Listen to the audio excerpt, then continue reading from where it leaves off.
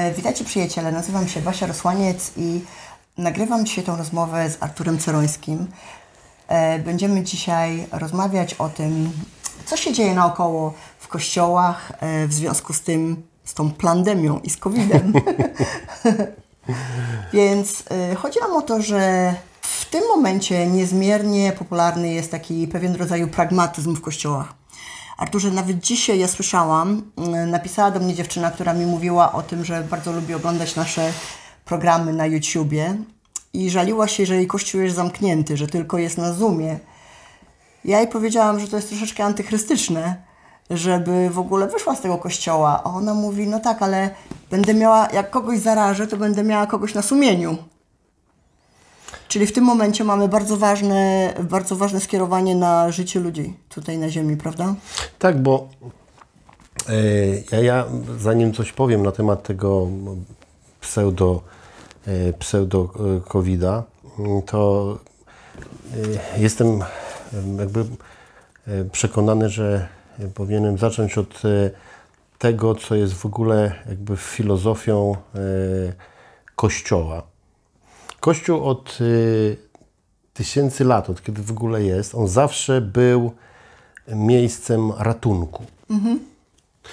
Nawet, nawet y, te kościoły takie nominalne, y, które były przez, przez setki lat funkcjonowały, one zawsze były nawet jako miejsce, miejscem ratunku. Natomiast dzisiaj rzeczywiście Kościół mm, stał się e, w większości przypadków miejscem, który nie ratuje, tylko wręcz nakręca całą koniunkturę strachu.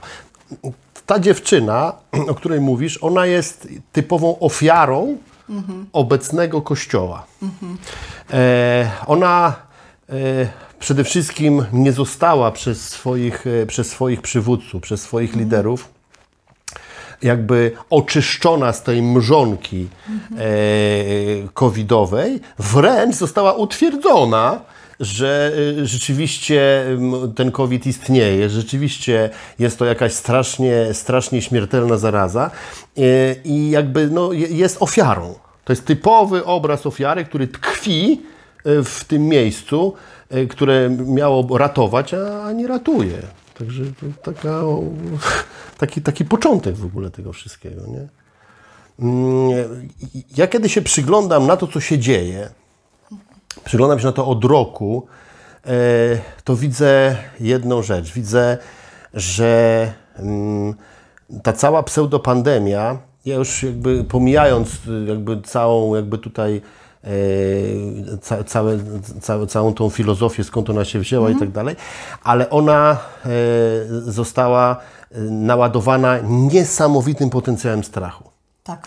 Strach, który został dany ludziom jako chleb powszedni.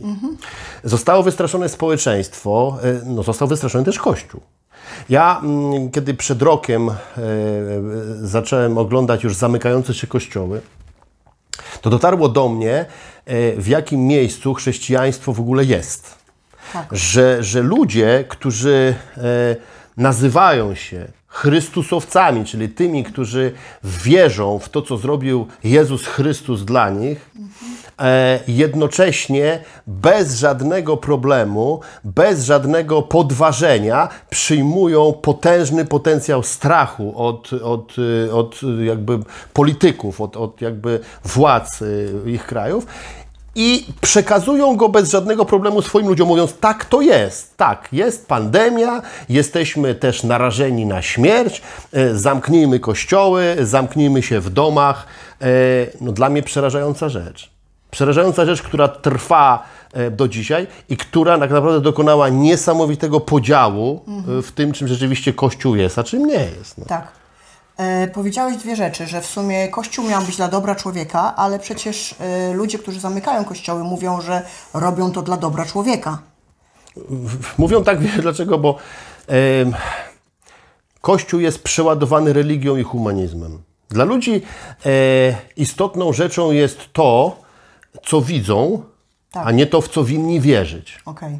Wiesz, my jako chrześcijanie, czyli ludzie e, realnie, ludzie, którzy poznali Jezusa, no my wierzymy w tego Jezusa. Wierzymy, że Jezus na krzyżu Golgoty dokonał potężnej zamiany, że stał się e, jakby takim sypem na wszystko to, co do tej pory niszczyło ludzkość. A więc Jezus umarł za nasze grzechy, e, Jezus rozchorował się naszymi chorobami, Jezus poniósł naszą niewolę, poniósł naszą biedę, czyli wszystkie te konsekwencje grzechu.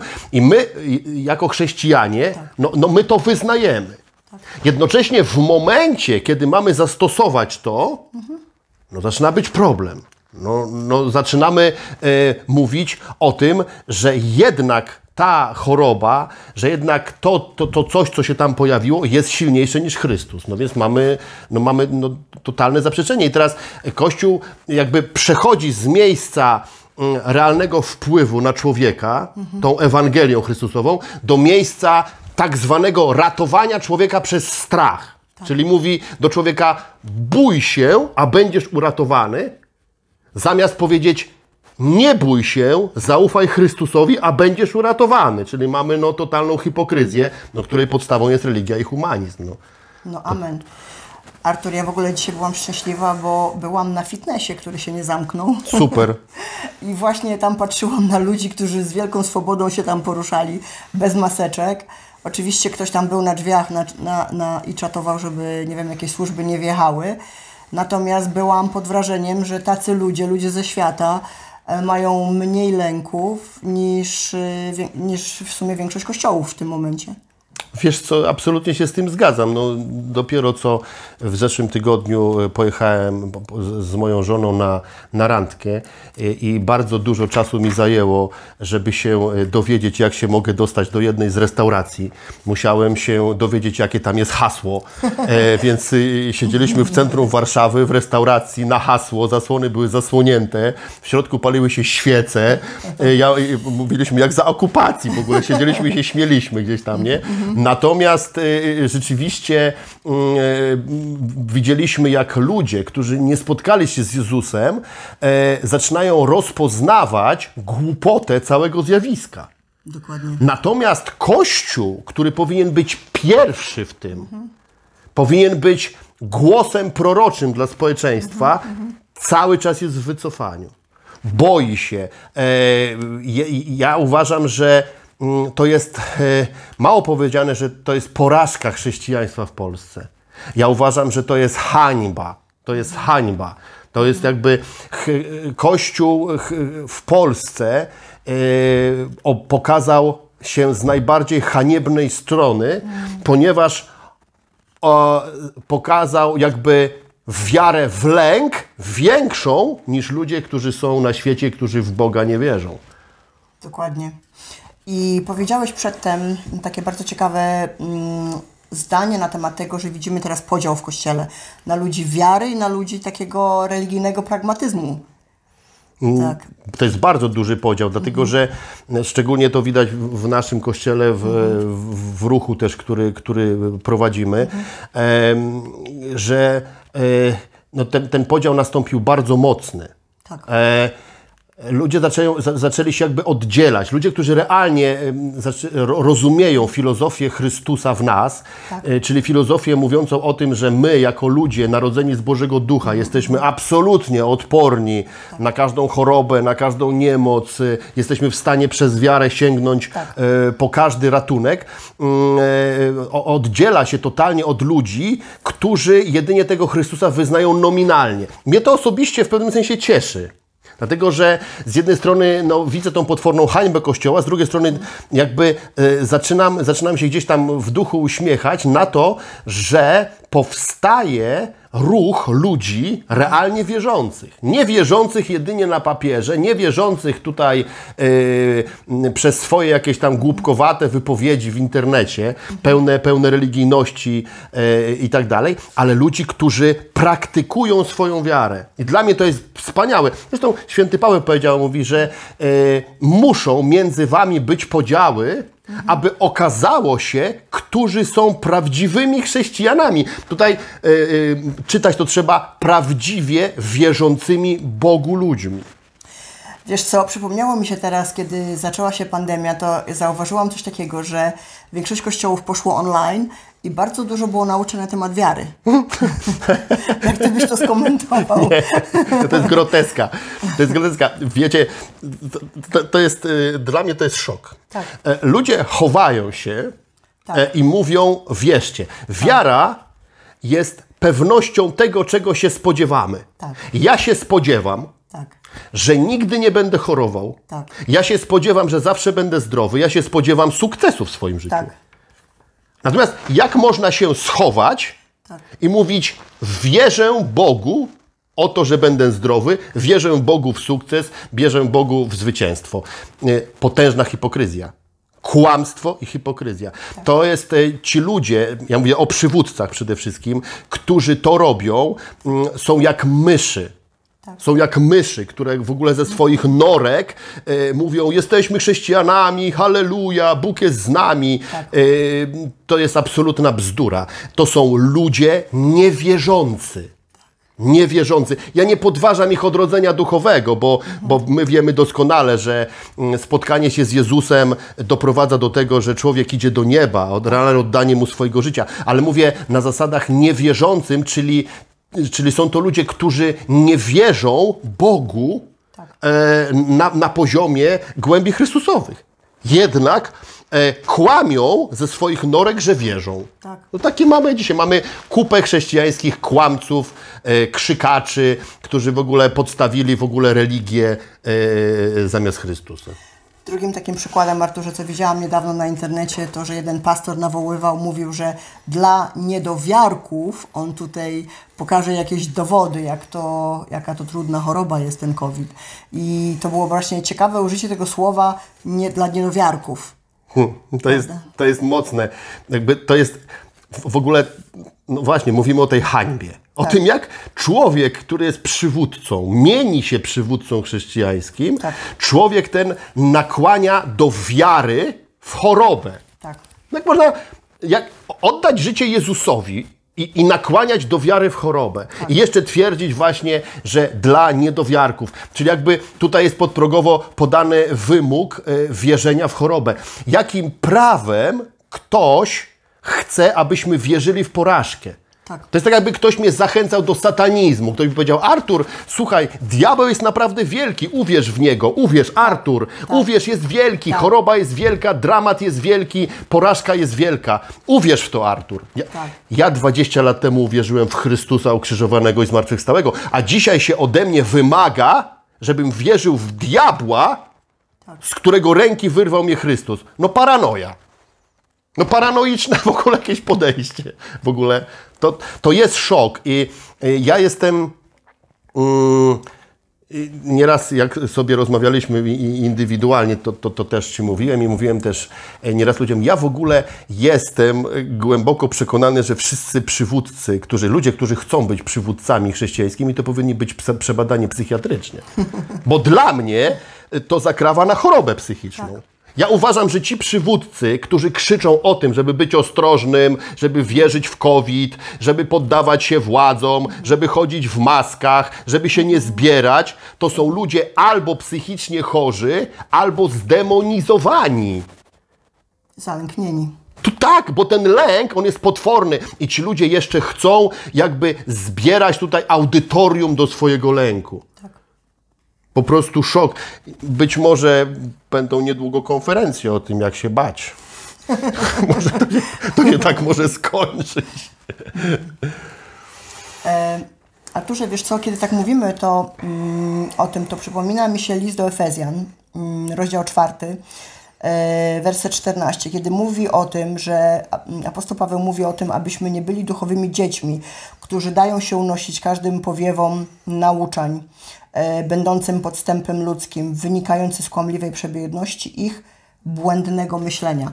Bo zauważyłam coś takiego w chrześcijaństwie, że są takie mody, moda na COVID, moda na końce świata, Tak. moda, nie wiem, na 5G była moda, Tak. że to antychryst tam nadaje przez 5G. Tak. I Kościół, że świat idzie w tym kierunku, to świat jest zafascynowany ciągle śmiercią i końcami świata, to świat jest zafascynowany chor- chorobami, a wygląda na to, że Kościół jakby jest, e, wtóruje światu w takich właśnie nurtach, w tych falach.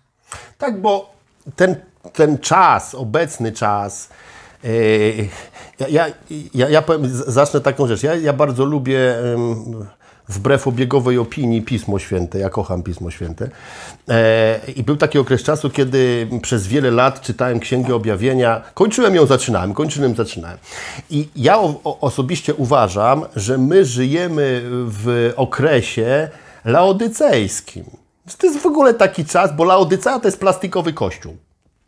Plastikowy kościół, tam Tak. w ogóle Światła. tak, Chrystus, Muzyka, Chrystus w ogóle o tym mówi e, tutaj Janowi, że, że o, o, tej, o tym kościele laodycejskim, e, że, że to jest, je- mówi, mówisz o sobie, że jesteś bogaty, a jesteś ślepy, goły i, i głuchy i w ogóle nic nie wiesz. Rzeczywiście dzisiaj Kościół jest pełen świata. Kiedyś pewien kaznodzieja powiedział fajną rzecz, taka mi się bardzo spodobała.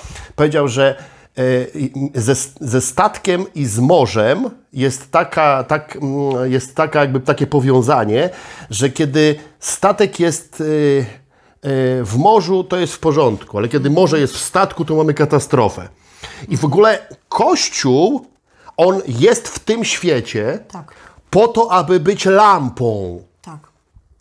Ale i Kościół ma być w tym świecie. Zresztą Jezus powiedział: Nie modlę się, ojcze, do ciebie, żebyś ich zabrał z tego świata, ale żebyś ich zachował od złego.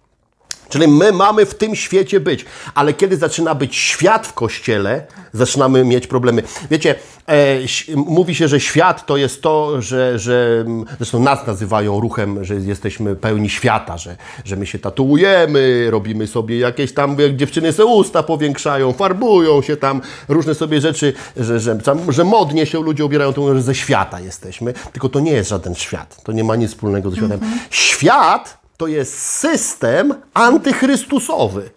I lęk jest jednym z elementów tego systemu.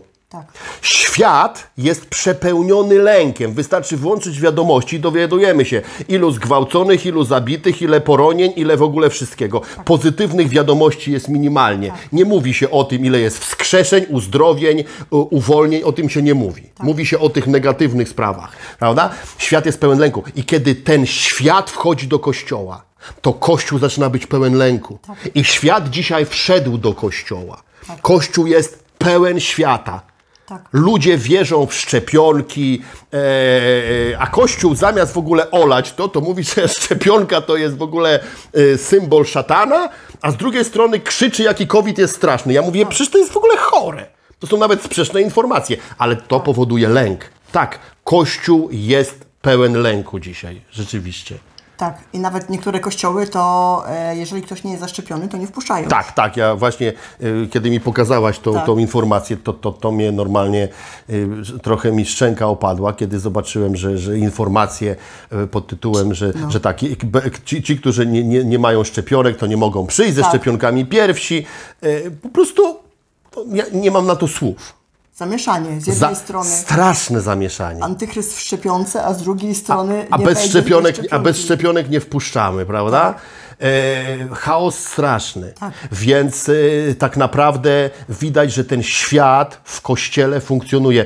A mówienie o tym, jacy jesteśmy wierzący, jacy wspaniali, jaką mamy tożsamość w Chrystusie, e, e, ludzie mają prze, prze, w głowach pełno tego, natomiast kiedy przychodzi jakiś kryzys życiowy, to jest jedno wielkie rozwolnienie i teraz ratunku, po światowemu się ratujmy. Schowajmy się, załóżmy maski, do bunkrów wejdźmy po prostu. No, dramat. No. Dokładnie. Arturze, jakieś półtora roku temu Agata Cereńska kopnęła Biblię i w sumie to był taki moment, proroczy moment oddzielenia prawdy od fałszu, od, od praktyki, od teorii, od tego, że można czytać tą Biblię, a nigdy nie chodzić tą drogą Chrystusową. I dzisiaj właśnie widzimy tego owoce, prawda? Tak, tak, to wi- wiele osób wtedy wieszało na nas psy, natomiast rzeczywiście ten proroczy gest, który Agata zrobiła, on obrazował to, co się miało stać już za, za kilka miesięcy, czyli totalne odejście Kościoła od, y, od realizacji y, pra, prawdy. Tak. E, dzisiaj e, ludzie e, dalej czytają Biblię, dalej mówią e, w ogóle, że są biblijnymi wierzącymi, jednak są tak daleko jeżeli chodzi o, o, o Biblię, że się nie mieści w głowie. Tak. Bo, bo gdyby ludzie przyjrzeli się tylko tym, którzy są bohaterami, że tak powiem, tej Biblii, apostołom, Jezusowi przede wszystkim, prawda? Tak. To by zobaczyli, że to, co towarzyszyło tym ludziom, to przede wszystkim to była odwaga, to był brak kompromisu ze światem, e, to było absolutne niewchodzenie w system myślowy tego świata. Okej. A więc, a więc y, czytają, prawda, ale absolutnie nie stosują. Czyli tak naprawdę dla nich Biblia jest śmieciem. E, e, Agata, która jest prorokiem, ona pokazała, jak Kościół traktuje pismo. Tak. Bo tak naprawdę tak Kościół traktuje pismo. Bo gdyby on traktował pismo y, z szacunkiem, to by wierzył pismu, a więc by realizował w swoim życiu to, co pismo mówi. Prawda? Więc jakby, a, a- a potem za też, za, już za pół roku po tym no, mieliśmy pierwsze efekty. Prawda? Przecież się okazało, że, że jesteśmy w zasadzie w Polsce e, jedynym, jedyną federacją, która nie wycofała się z, z, ze wspólnych spotkań, która nie wycofała się e, z tych rzeczy, która nie nakłania ludzi do tego, aby e, chodzili w maskach. Nasi ludzie ewangelizują, są na ulicach, głoszą przez ten cały czas, Tak. uzdrawiają chorych, no po prostu. Tak. Więc Arturze, jest ostatnio wielu proroków w Polsce i za granicą, którzy mówią, że rok 2021 to będzie kontynuacja tego oddzielenia, oddzielenia fałszywego kościoła od prawdziwego kościoła.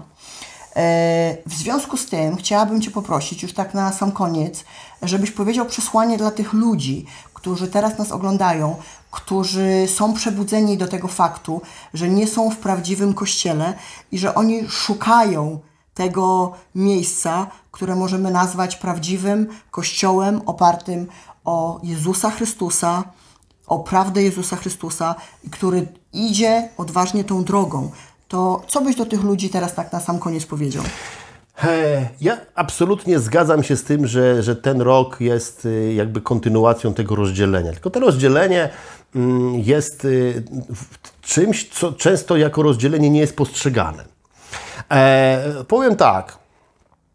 Jeżeli Kościół, w którym jesteś, jest prawdziwym Kościołem Jezusa Chrystusa, e, to na pewno tam będziesz e, miał e, głoszoną pełną Ewangelię, która też będzie realizowana przede wszystkim przez przywódców.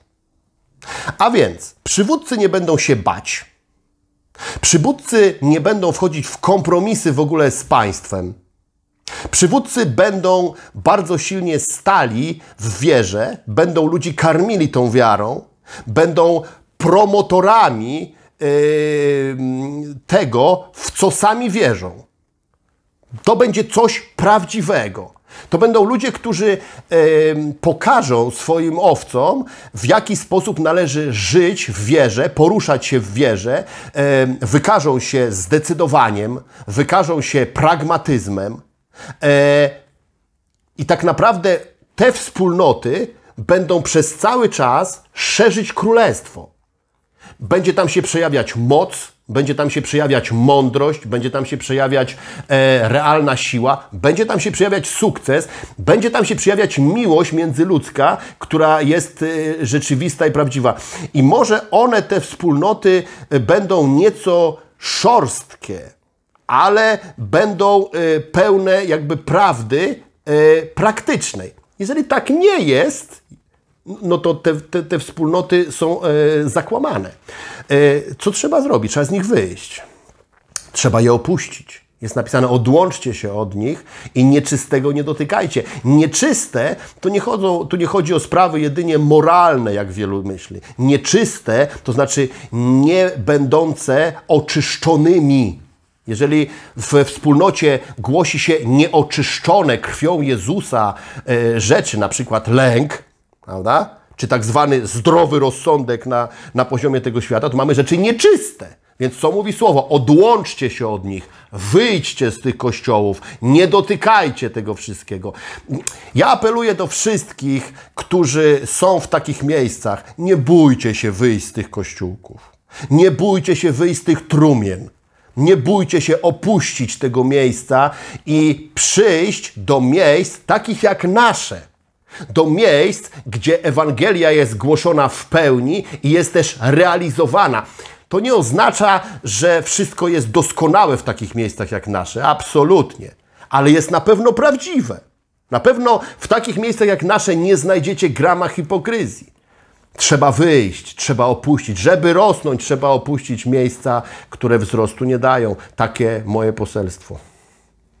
Super, wspaniałe przesłanie. Dziękuję bardzo, Arturze. I jeżeli nas oglądasz i jeżeli Cię to zainspirowało, to zapraszamy do kontaktu z nami. Tak. Zachęcamy też, żebyście oglądali nasze, e, nasze programy. E, zatytułowane one są Jak to prorok do proroka. Będziemy też spotykać się w szerszym gronie, rozmawiać o różnych sprawach, o sprawach, które nurtują na bieżąco e, środowisko, w którym żyjemy. Bądźcie z nami, uczcie się od nas i wiem, że razem w ten sposób będziemy mogli zrobić dużo dla Królestwa. Super, dziękuję bardzo. Dzięki.